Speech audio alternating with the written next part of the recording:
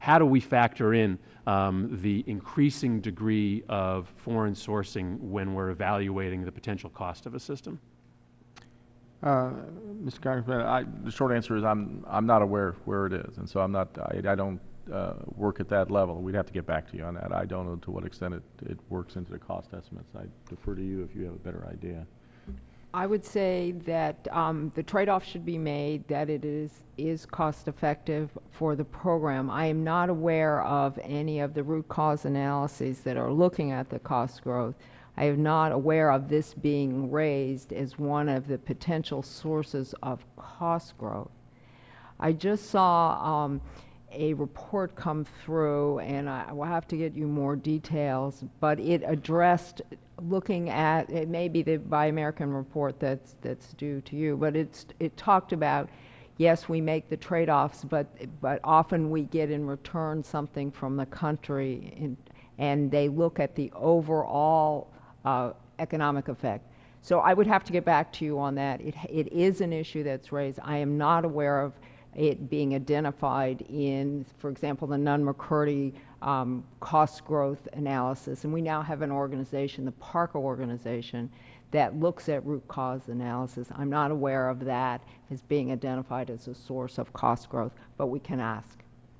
Uh, in the uh, in the award process today, is there any factor, um, any ability to factor in uh, the amount of uh, supply sources coming uh, from domestic sources versus foreign sources in the award uh, process? Uh, or um, does, it does it work inversely in that to the extent that more foreign sourcing can lead to lower price, the existing award process effectively creates an incentive for more foreign sourcing? Is there any ability to give um, uh, a, a, a, bonus in the award process to companies that agree to do more domestic sourcing? I don't know. I'll have to get back to you on that. I would, it would be, I just don't have the facts. I'm sorry. Mr. Roth? Uh, well, I would appreciate you getting back to me on this uh, on this subject. I, I think um, a one-year jump in waivers to the Buy America uh, uh, provisions of 450 percent is something that should concern every member of Congress, especially as we seek to grow jobs here in the United States. We're spending more and more of our taxpayer dollars within the Department of Defense budget overseas. I think that there's a very strong argument that that can lead to the increased cost of acquisition for many of these products as you create a, a, a, a source network that is much harder to track from the DoD perspective perspective. And I, I, would, I would hope that we could have a conversation about this issue going forward and we could talk uh, about um, the reasons and the root causes for an increasing amount of work being done overseas and to the extent to which that is part of the problem that we're seeing within the overall acquisition costs. And with that, I yield back. Thank you, Mr. Murphy. Uh, we ask unanimous consent that all members be given five days to submit uh, additional questions for the record. Uh, you may choose, Mr. Murphy, to, uh, to do just that. I think that's a good line of questioning along with that in the industrial base aspects of that. Um, any objection? No objection. Uh, we're not letting you off the hook, though. That's, those are written questions that are coming, but uh, we do have a couple more questions. We'll do another round for those that are interested in, in that. Um, Mr. Sullivan, I noticed one of the comments that the General Accountability uh, Office has previously made, and you mentioned again in this report, is that the Department of Defense should work to balance its weapons systems portfolio with available funding. So my question to Mr. Roth is, what do you determine as available funding? Just whatever gets appropriated? No, we clearly, in, in any given fiscal year, I mean, we, we operate within uh, well-defined fiscal controls. I mean, we first and foremost, uh, as we build the budgets, we work with the, whatever the current administration is to build a, a budget within the fiscal controls. They have in general fiscal controls across. I, I, who sets the fiscal controls? Well, we work, it's, it's worked collaboratively we, uh, with the Office of Management and Budget, and ultimately the Office of Management and Budget, at the behest of the White House, sets those fiscal controls. Then, as you well know, the budgets come to the, come to the Congress and it goes through the appropriations process. I, mean, I, make the point because I'm parroting a little bit of what uh, Secretary Gates said just the other day. This, this defense budget in this country has doubled, doubled in the last decade. Yes, sir. You know, things like 11 aircraft carrier units out there. The next uh, country in competition with us has one. Mm-hmm. It's eleven billion dollars a year to build those. So my, my real wondering is, who determines what's available? We just keep building as long as we can get Congress to think it's a jobs program and keep appropriating, as Mr. Welch said on that. Uh, It goes back to Mr. Solomon's comment about leadership. Somebody's going to step forward, and I think Secretary Gates has been stepping forward. It's incumbent on Congress to to kick in as well and start saying, you know, we have the defense uh, system that's so much larger than all of our allies and protagonists combined. At some point, you know, what are the other needs of the country on that? And I don't think it comes into your level on that, but it does come into Congress and the executive office trying to decide what, what it is we're doing here uh, in terms of that, and then looking at those programs that have some of the deficiencies you talked about here today and weeding out the ones that, uh, that aren't really relevant to today's uh, fighting systems and, and needs on that and, and moving forward and getting rid of those that just aren't working and being done right. So your testimony on that has, has been helpful on that. How do you assess affordability of a new program, Mr. Roth, or Dr. Spruill, whichever? I mean, that's the other thing that they were talking about. You you assess the affordability, and we know that's a little bit above your pay grade, and we've got responsibility for that with the White House. But how do you assess capabilities in, in the context of the overall Department of Defense spending? Well, and, and as you may be aware, we, we actually go through a very uh, systemic, uh, structured process. The, as, as Mr. Sullivan alluded to, the planning, programming, budgeting, and evaluation, the so-called PBE process, where we first of all set up the strategic plan, and we take a look in terms of what are the threats out there, what are the requirements out there. I mean, to, what do you need to resource? Uh, then we go into an extensive programming and budgeting process where we try to balance off uh, the needs between the various and sundry mission areas that we have, and we do, we look at where where you can manage risk and, and where you, you don't want to take additional risk and those types of things. And so, for better or worse, it's a fairly long, comprehensive, convoluted in many ways uh, process where you take a look and saying, okay, where what are my needs in the tactical air community? What are my needs, you know, in the shipbuilding area? And within those fiscal controls, you try to get as balanced a program as you possibly can. Well, exclusive of uh, GAO's good work here, does the department itself have a, a system where somebody raises a red flag at some point and, and says what GAO has said well before they say it? That, hey, look, uh, we've got a program that's way over schedule, way over budget. Uh, they're not following the protocols that we've set up in our own systems. They're certainly not following the laws that Congress passed. You know, and let's start weeding these things out, or do you wait for? It seems like we're waiting all the time for GAO to come out with a report and then reacting. But No, I, I hope that's not the I think. Dr. Spruill can answer in two terms. We have a very, a very well-documented acquisition process as well. But in terms of resources, again, uh, frankly, there's, there's competition virtually every, every day of the week, so to speak, in terms of, for resources. And so those programs that are underperforming, those programs that aren't meeting a need, frankly, are at risk against those Well, programs I- I wonder, I guess, because are. I don't see the the decisions being made, I see the budget doubling. So it seems to me they're all uh, competing with each other and they're all at risk, so what do we do? We throw a little more money, we keep them all going. I hope that's changing. I think the Secretary's indicated that he's got a mind to change, but if we don't, uh, where does this thing go? You know, a- a billion, a trillion dollars by uh, a couple of years from now? Could, could I jump in on Yeah, sure, affordability? sure. Because I, happy I to have you. really think it's important. I think that, it, um, at least from the acquisition perspective, we try to do two things, and it's, it is recent, um, initiatives and processes. But when programs start at system development, when they're coming to their milestone B, the certifications that the Congress has laid out for us, we must say that it is affordable, okay? So we look at the entire program. And what we did last year, um, AT&L along with the comptroller and the CAPE folks, when we got to the program budget review, when we were developing the president's budget, we looked at all the programs that had come through the process and were new. We looked at were they funded as the service committed, the service must commit to fund when they go through uh, milestone B. Were they still funded like that in the program? If not, why not? And if not, were there changes that need to be made? So I think we are stepping down the affordability road, and um, it's clear from what the secretary said, there, the budget will not continue to grow, and so we must make sure that we live within our means, and that means some programs will not get started, some programs will have to, um, as demands change, will have to be terminated. Well, the indulgence of Mr. Flake for one second, I, I, I think that's right as, as a statement, but then I look back at what the Secretary did. He, uh, he basically made his recommendations with respect to the Army's combat systems uh, program, and that was. It was about 80, 87 billion dollars on that.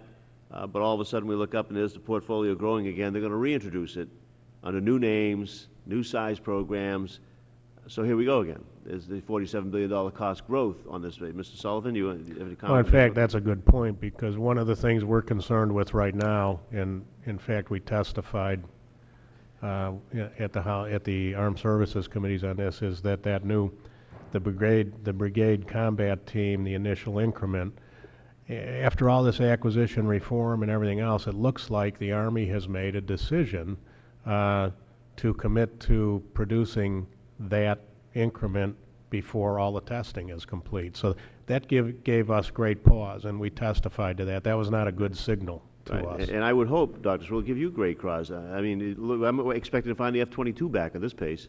Uh, I mean, if the decision is made, $87 billion, this isn't working, and you should be hopping all over that when it starts coming up as little animals along the way for a little bit of money, but the same darn thing over again, But the, con- the. uh, without the right procedures in place and on top of that.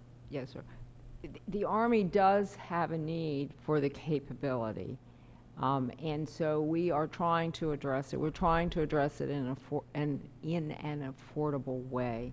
Um, I would, I will have to go back and look in more detail, but um, it, it was clear that the FCS program was not started out under the uh, recommendations or the policies that GAO recommends.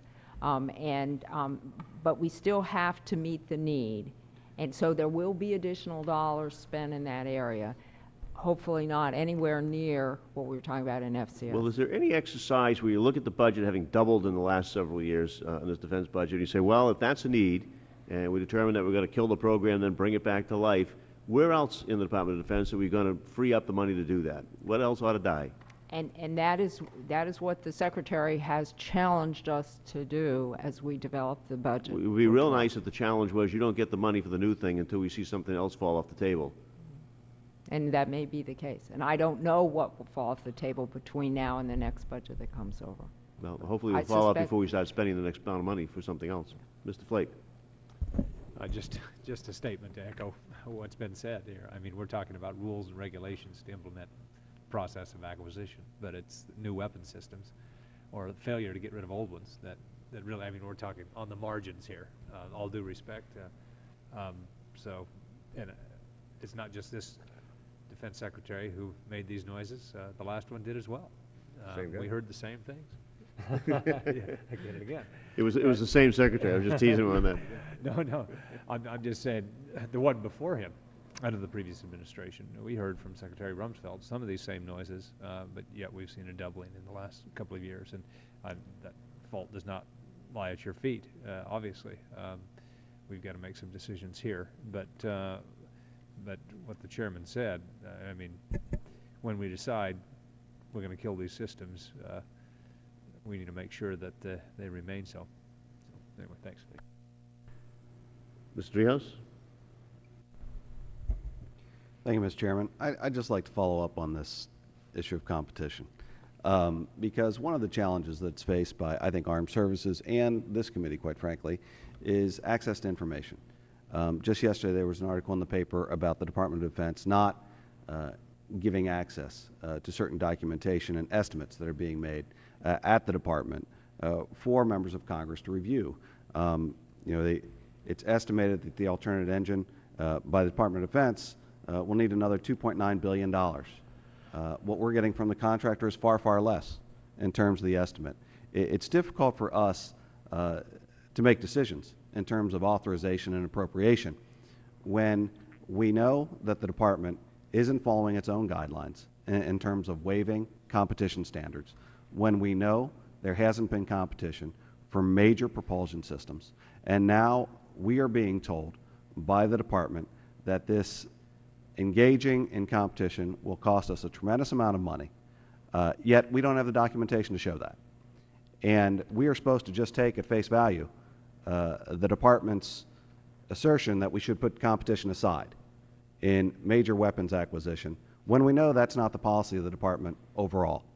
And so this, this is an ongoing challenge, I believe, uh, for us to uh, you know, do our job in terms of oversight when it comes to cost of weapon systems if access to information is held up by the department itself. And, Mr. Roth and uh, whoever else, I'd like you to comment on that.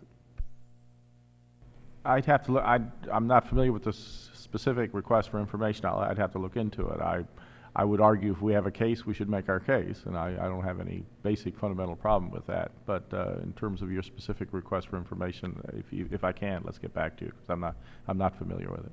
And, I- and I'm not aware of it either. In fact, I thought we were sharing um, a lot, everything that that the Congress had asked us um, on the Joint Strike Fighter. So uh, I, I would have to just go back and ask. Uh, The, the information that we received on, on that issue, it was difficult to get information, I think mainly because the department took a position that, that, that that was no longer part of the budget.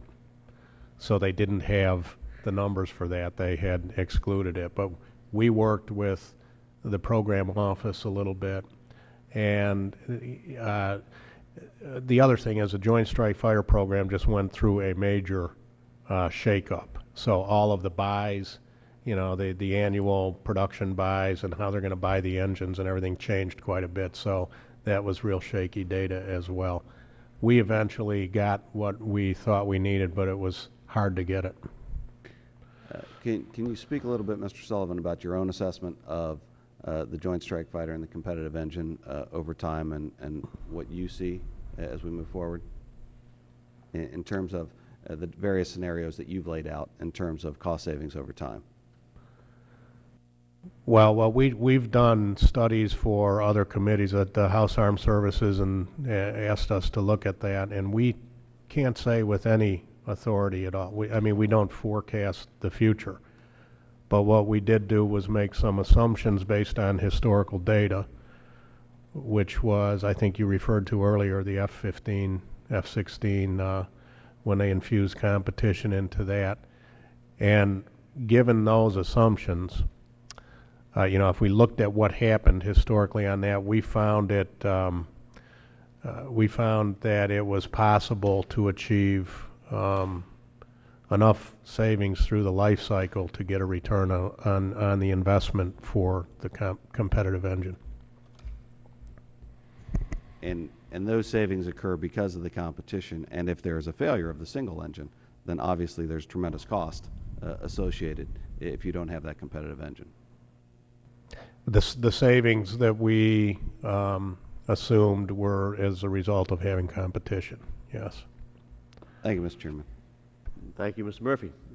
Thank you, Mr. Chairman. I- I would just quickly note that for those of us that uh, support the current policy and the administration's policy on a single-source engine, um, we note that some of the costs are very hard uh, to estimate at this time. To have two um, single-source engines with all of the end-use cost uh, to the operators um, is, is hard to evaluate at, at this time, and, um, but I think has real consequences for the ongoing um, uh, defense budget. Um, My question was just uh, back to my line of questioning on the true cost of acquisition, a quick one to Mr. Sullivan.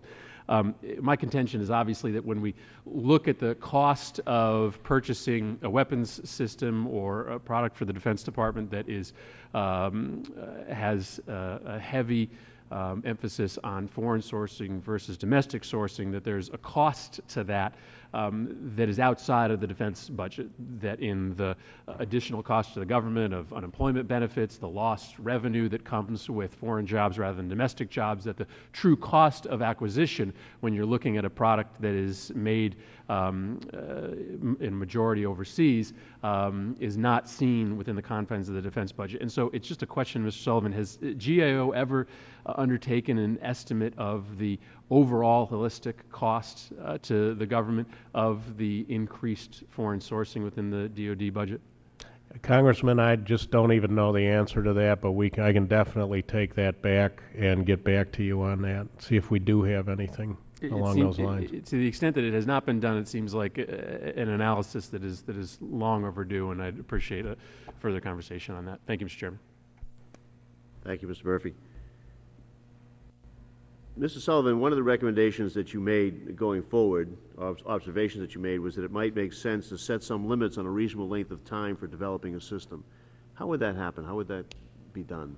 So Some of the things that we, we don't press this hard because it's, it's it's, uh, would be taken as somewhat arbit- arbitrary, but what we found when we did a lot of work in the commercial world and at some world-class technology firms is that they enforce a schedule. Uh, and they do it for a couple of reasons. Uh, Number one, uh, it limits uh, uh, the amount of time that people have to change requirements and things like that. Number two, it gets products to market quicker before the world changes. It gives some, uh, people a piece of time that's more manageable. And in terms of the department, we think that it would be good to operate within what the department calls its future years defense plan, which is typically a five to six year plan, and fully fund the development of weapon systems in that plan. Uh, you know, typically what happens, you're talking earlier about why there's no control.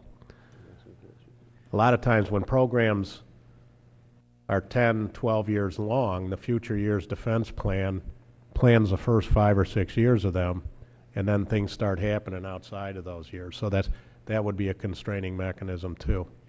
What happens, last year, we, we moved to uh, get rid of part of the um, intercontinental ballistic missile, the, the missile defense program was $188 uh, million, not a big item by terms of defense budget, but an item that the Missile Defense uh, Agency didn't want, so they wanted to see it cut. The Secretary wanted to see it cut, the White House wanted to see it cut, everybody wanted to see it cut. And the argument in return for that was, oh, we've got all this money invested, and so some of it survived on that. So that, my question was really, how do you avoid that? You're gonna say, well, we, program's done in five years, or it, it gets cut.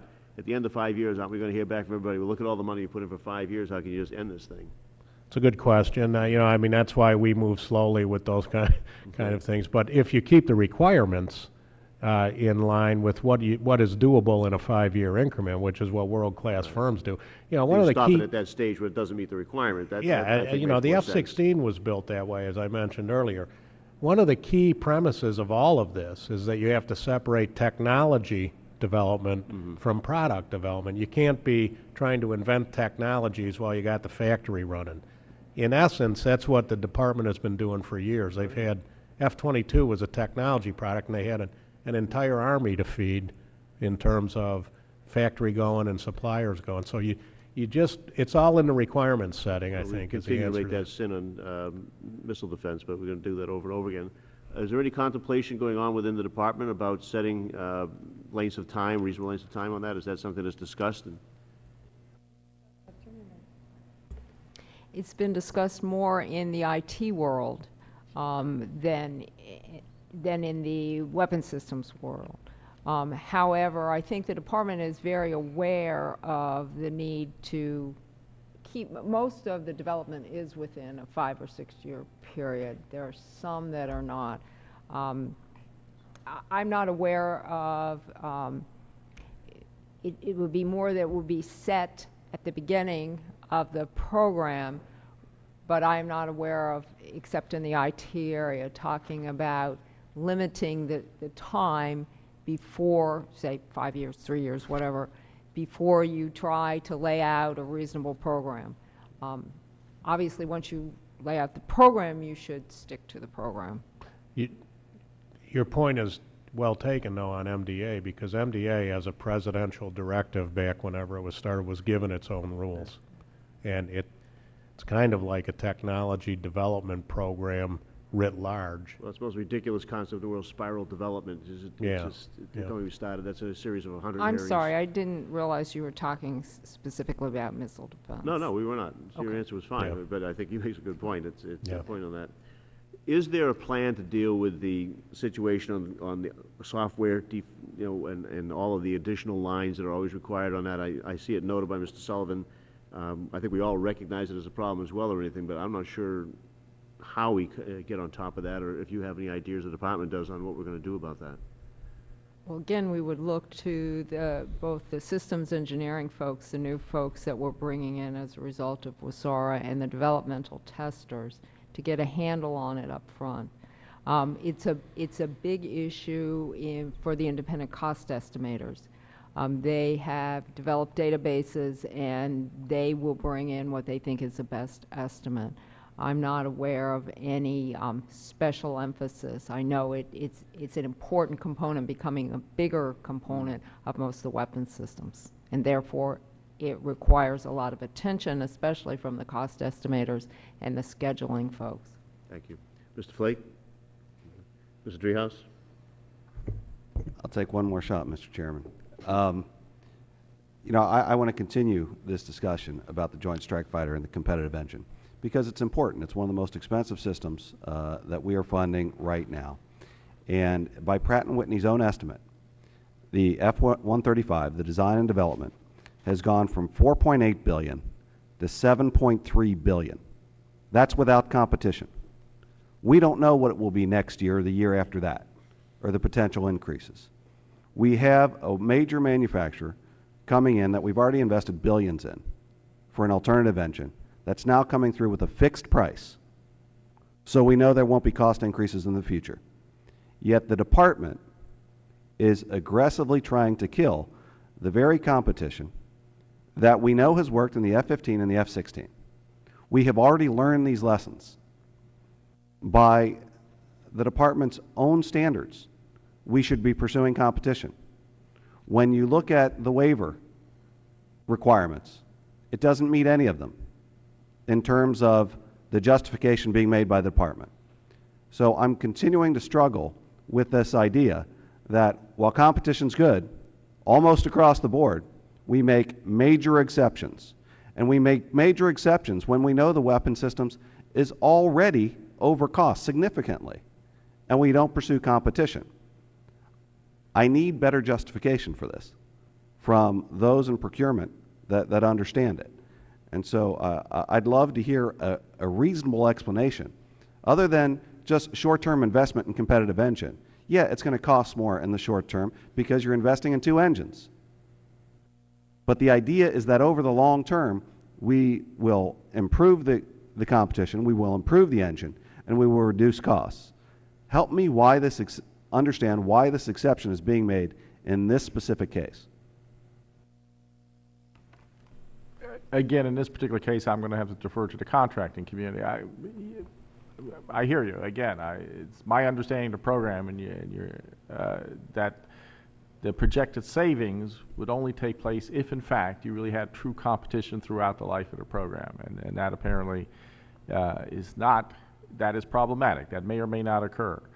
Uh, but let me not get into areas that are outside my bailiwick. You've raised some, some legitimate contractual sorts of questions. I think the best course is let's, let's get back to you. To the extent we haven't provided you some of this information, we, in my humble view, we should. So, to it's, it's, I think, an issue that needs to be debated and needs to be sorted out.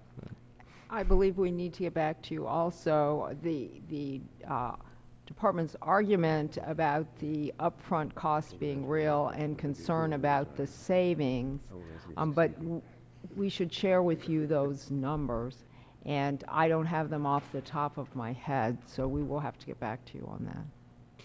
But is it safe to say that given that the primary contractor is already well over budget, that in the future, we might expect them to continue to go over budget?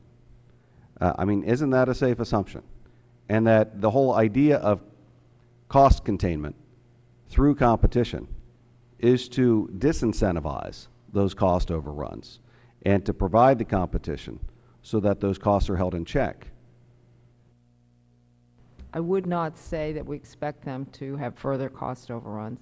The cost estimates that we're providing, that we provide for the budget and we're providing here for a Joint Strike Fighter are best estimates of the, the um, actual occurrence. So I would not expect additional cost growth. Um, One never knows, obviously, but the estimates we are giving are not showing additional cost growth. But Dr. Spruill, I, I assume that you would admit that this is a significant exception to the policy uh, of the Department of Defense through procurement uh, to encourage competition in, in major weapons acquisition. Right. It was, it was a special consideration by the department to look at the costs and benefits along the business case line that Mr. Sullivan talks about. And the decision was that it was not cost-effective, and therefore they're going with a single engine. Thank you, Mr. Chairman. Thank you. I- Not to jump onto your, um, your issue on that, but I, I know two things. One, I know we we put the cost estimates in thinking they're not going to grow, but we only had $300 billion worth of uh, cost overgrowth in the last report that GAO did, and if we had got the information from the department, we'd know what it was more recently on that. Could, could I say something about that? A lot of that cost growth, um, and, and Mr. Sullivan and I do have, um, we arm wrestle over this periodically, um, that that a lot of programs, we have 102 programs in our portfolio. Many of those programs are older programs that did have cost growth since their initial um, start. However, a lot of them are now performing very well. So to take that number and apply it to the department's uh, acquisition today um, may be just a little bit overly harsh. It might, but I I remind you again, if we had had the information given to GAO that could give us that assessment of what it was last year, then we would be able to make that kind of measurement on that. And, and so it's not helpful to us to judge whether or not there's accuracy on that. I I know there's good intentions. Um, Can you tell me, uh, Mr. Roth or Dr. Spruill, what happened, what changed between February's budget rollout and now that the Secretary decided to make the, uh, the, the alternative engine an issue? I don't think this is a new issue. Uh, We made the same issue when we submitted the FY10 budget as well, and frankly, in previous budgets as well. We have not funded an alternate engine for the last five or six years. The program has lived uh, on congressional adds over the last five or six years. So the decision was made years ago. This is not a new position on the part of the department at all. Okay. Let me wrap up just by asking one question about personnel uh, on that. The, you've recognized it, you seem to be working on that. Uh, The rise in contractor work uh, shows a hollowing out of a capacity for management and oversight, which isn't just unique to Department of Defense, it's Department of State, it's a USAID, it's a lot of agencies down the line. Do you think we're on a glide path to correct that situation? How long do you think it will be before we have the inherently governmental functions back in-house uh, so that when we're looking at a contractor who otherwise wouldn't necessarily have any incentive uh, to be concerned about some of the things that the government, whose money it is, might be concerned about? How- What's the glide path there? Well, we have an initiative, as you know, to um, grow the acquisition workforce by 20,000 folks. Tho- Those are insourcing to the department. They will be government folks By when? in the next five years, over the fit-up period. Um, And we have already started that in 10, and we have made good progress. I, I- I'll quote a number, it's probably r- wrong, but it was about four, four, I believe, instead of, t- four of the 20 would be uh, in the first uh, year. Um, and so we, we have been going through the, uh, the uh, jobs, looking at them, deciding which ones we can insource. Now, some of that we are insourcing from contra, taking contractors that are doing the job today and no longer doing them with contractors. Others, we're bringing in new people. Because as you know, over the last 10 years, we cut the acquisition workforce quite a bit, and we believe we cut it too much. So we have an active initiative. Now, the department is also doing some insourcing beyond the acquisition workforce, but we are definitely um, looking to bring those inherently governmental functions in and at a reasonable rate. We didn't think we could do 20,000 in, in a year, so it's over a five-year period. Do we have the workforce development capacity to get those people up to where they need to be on their skills and uh, Yes, and we have the levels? Defense Acquisition University. We sent over a strategic plan for the human capital um, initiatives and plans for the acquisition workforce. I think it just came over a, a couple weeks ago. And so we have laid out a process. I happen to be the functional leader for the business portion of the acquisition workforce. That's about 7,000 folks. Um, But we have, we have increased the training requirements and the experience requirements for those folks, and we are moving people into and through that process so that they will be level three certified uh, acquisition professionals. Great, good. Well, thank you all very, very much. I appreciate your testimony here today and your exchange of ideas. Uh, People will be submitting questions, I assume, within that five-day period, if you'd be kind enough to respond to those uh, when you can as well. Uh, This is helpful to us, and I uh, I appreciate both the progress that's been made in the Department of Defense, the work of the General Accountability Office, so I see a number of people from both of those areas sitting behind. I want to thank them as well for their good work on this. It is good to see uh, people working together in this sense. Uh, You take what you can learn from GAO and advise on that, push back on them and arm wrestle with them if you have to, uh, to keep it in line on that or whatever, but the idea is that with the, what we've passed and what you've passed in the Department for New Regulations, we have to get a grip on this, and we appreciate the guidance and the work. So thank you all very much. Meeting adjourned.